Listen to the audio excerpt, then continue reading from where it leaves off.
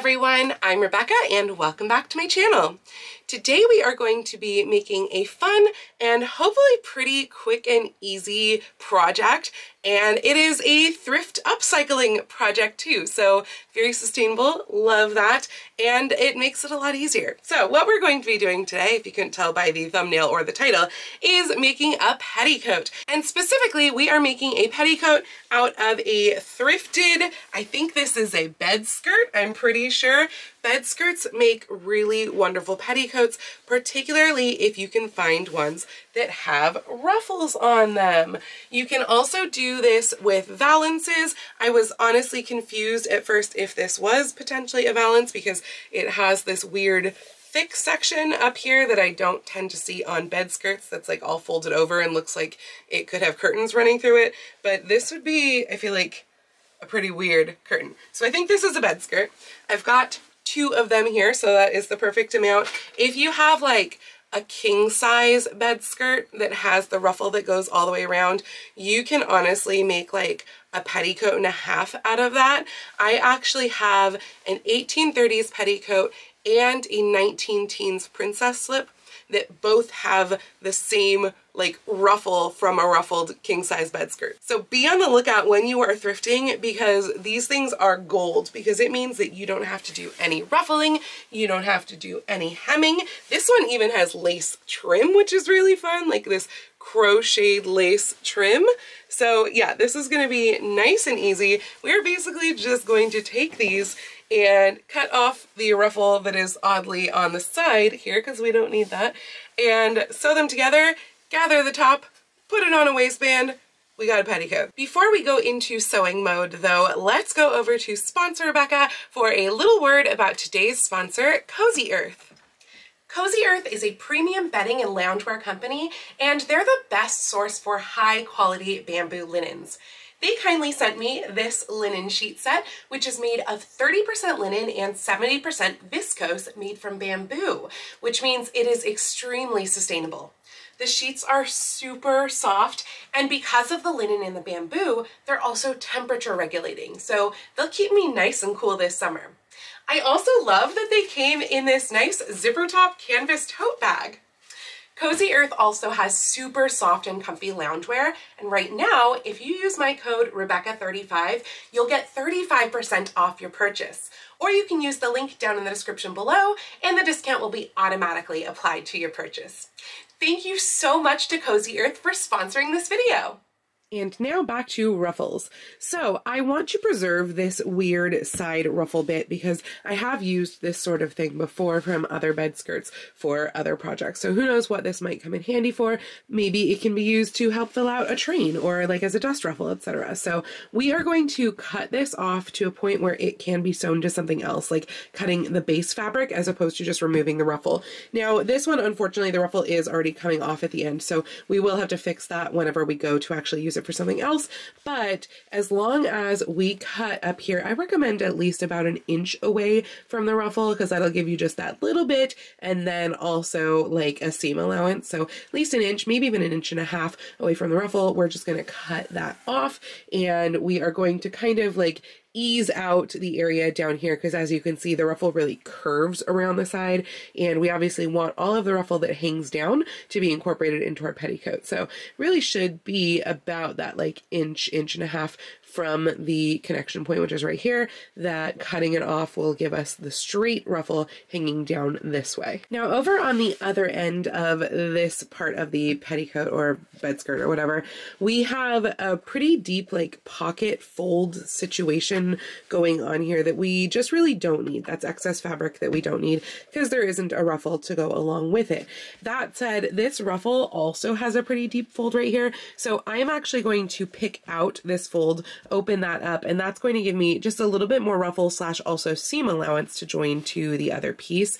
So I will probably wind up resewing just a little bit of ruffle right here and then otherwise I am going to cut off all of that excess up here. We don't need that and we're to get rid of it. The petticoat pieces are now all ready to be serged along the top edge and the side edges.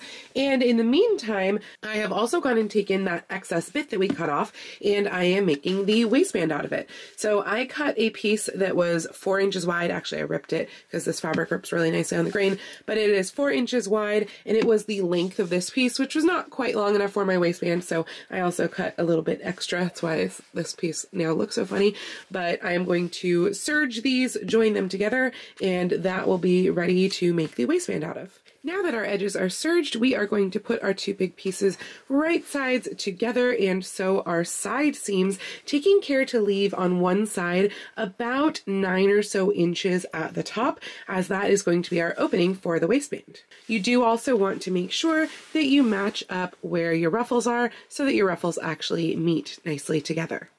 So now that we have our sides sewn together and then the seams pressed open, it is time to be able to gather the top of this. This is kind of where you have to decide what kind of petticoat are you actually making. Obviously we have two straight panels, but honestly that can make up a whole lot of different petticoats. So frankly already at this point I did decide to make a Victorian petticoat as opposed to an 18th century petticoat. There is absolutely nothing to say that you cannot make an 18th century petticoat in this method as well. The only difference up to this point would have been I would not have wanted to close up this side seam all the way to the top. I would have wanted to leave it open just like the other because then you have access to both of your pocket slits. The one thing about making this an 18th century petticoat though, as opposed to like a Victorian one, is the fact that if you're wearing this over pocket hoops, you are going to see the hem like curve up because this already has the hem. Or of course you balance it at the waist and you take some of that excess out of the waist here, leaving it to be longer here than it is here, which was another method that they would have used. And for 18th century petticoat, then you would really just like pleat this up to two tapes so that you could tie the tapes around your waist. But we're looking at a Victorian petticoat for this. So frankly, like if you wanted to make this a bustle petticoat, you could put a whole lot of the gathers, like most of the gathers to the back as opposed to to the front. And then you would pretty much wind up with a bustle petticoat. Now again, just like with 18th century, I would suggest that you would balance the length of the front by shortening it at the waist. So you would pull up the front piece and leave the back to be its full length and that would give you a hem that's relatively even all the way around. Because of course you can balance things you can balance like the length of something at the waist as opposed to the hem.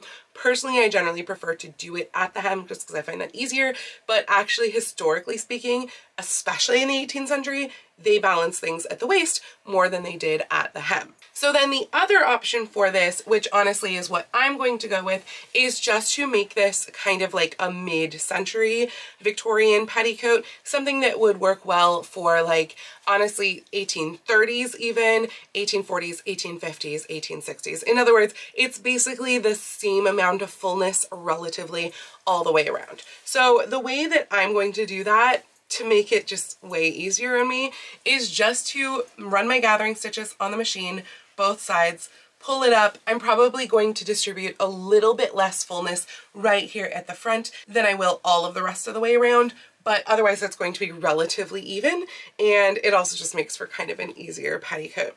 And once that gathering has been pulled up and it's ready to attach to the waistband, I don't think I mentioned it, but I cut this waistband so that it's actually five inches longer than my waist. And what that does is that it allows me, A, one inch worth of seam allowance. You absolutely need that. But also I make my waistbands in the theatrical method because I learned like in a costume shop. And what that means is that you have an overlap and you have like a catch hook in the back and then you have your main hooks here. So basically you're to have a three inch overlap, kind of that's what I do as standard, three inch overlap right here. End of the skirt like on the outside is here and you're to have two hooks and two bars here. And then this part right here, the skirt actually ends about one inch past here. I hope you're getting all of this visual that I'm doing with my hands, but basically your skirt is going to overlap, the actual skirt material is going to overlap by about an inch right here, and then two additional inches are going to continue on this way, just the waistband alone, like a little tab sticking out, and at the end of that, you're going to get one hook on the interior and then the bar on the exterior. So that way, like, even if one of your hooks fails, you still have a bunch of other hooks holding up your skirt. And I found, especially in the theatrical sense, but honestly, even when I'm doing historical costuming, that that is very necessary because you never know when threads are gonna snap on a bar. It happens all the time. It's always the bars. I was replacing a bunch during Titanic. And yeah, so you wanna have that backup. And that's why you have the three hook system like that, putting everything together. So that is my method for putting waistbands on. And basically once I have that gathered up, again, it's just gonna be like right sides together with the waistband. So you are going to want to mark a half inch on one side and two and a half inches on the other side so you know like where the skirt is actually going to attach to. And then I will get into showing you the other bits of the waistband once we get there. But yeah, right sides together, just make sure you make those marks. Oh, by the way, before you actually gather this, I do recommend that at the very least you mark your center. You may also actually want to divide each of your panels, since these are pretty big panels, into quarters and then mark equal marks on the waistband so that you can actually distribute your gathers evenly. Now that the waistband has been attached right sides together like that, you can go ahead and press this seam I tend to not really press it. Sometimes I'll steam it just to kind of get that to lay nice and flat, but I don't want to press the gathers in and like smush them, so I don't tend to press it. What I do press, however, is this other edge right here. So I actually did already take a couple of other steps because I went and I made the tab and I also closed off the other end. So all that happens here is that this was right sides together and you sew here and here and then turn that right sides out after you clip the corners. And then on on the other side here, it is pretty similar except that it's not a tab. You literally just sew right sides together at the end and then flip that. And then I pressed all of that. And now what's going to happen is now that this is pressed, this pressed edge right here is going to be pinned down so that it just covers the stitch line that was made down in here, right there. So it's going to just cover that and pinned in place. And then I flip it over and stitch in the ditch, which means right along this seam right here. I stitch in the ditch there and hopefully it will catch all of it on the other side as well. And then other than hooks and eyes at the waist, our petticoat will be done. This is what the waistband looks like now. I have pressed the edge here and now I am putting on the hooks and bars. I use the wide skirt hooks for this sort of thing and I tend to buy them in bulk as you can see. To be honest, I don't remember where I got those from, but it wasn't like Joann's. And what I'm doing here is I'm actually making this so that this can be worn both with and without a corset. So I made the largest waist measurement to be without a corset. That's going to be where these bars go here. And then it can be a little bit smaller. I just looked at another skirt that I had where I have this sort of setup.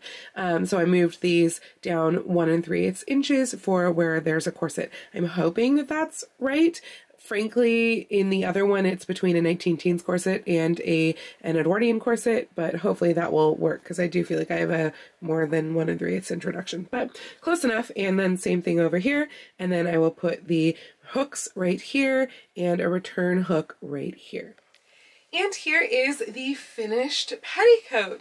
So that was so super, super easy and you can see just how nice and full it is, especially with that ruffle down at the bottom. This is going to work really, really great for rehearsals as well. I, love that it's actually going to be nice and long because my other petticoats are actually a little bit too short to use as a rehearsal skirt. And frankly, you could use this even just like as a skirt if you want to instead of just a petticoat. So yeah, I really, really love how this turned out. And for a super quick and super inexpensive project, I think this was great.